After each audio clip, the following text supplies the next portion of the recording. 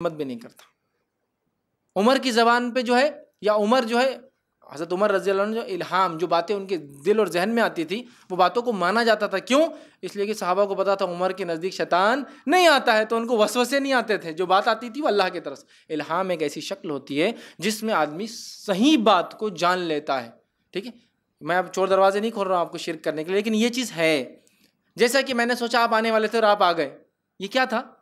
अल्लाह की तरफ़ से मुझे पहले बता दिया गया। लेकिन होने के बाद पता चला ये होने वाला है।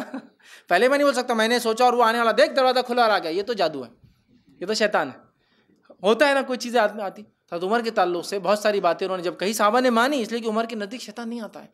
जिस गली से उम्र गुजर, शैतान दूसरी गली से हो लेता है। अगर नबी अक्रम अकरम